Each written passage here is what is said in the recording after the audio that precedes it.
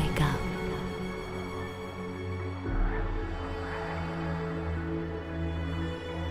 Once again transformed to host the annual Deer Fest. Some traditions apparently die. Alan, we're here.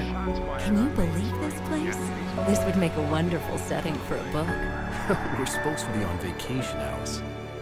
I don't know what happened. It was dark. She was screaming. Someone took her. Alice! And they want the manuscript. I found many pages. The story's coming true. It's all in your head. I've got to find the manuscript to make sense of what's happening. You're making this up. It's my fault. Please help! Alan! I'm sorry. They're here!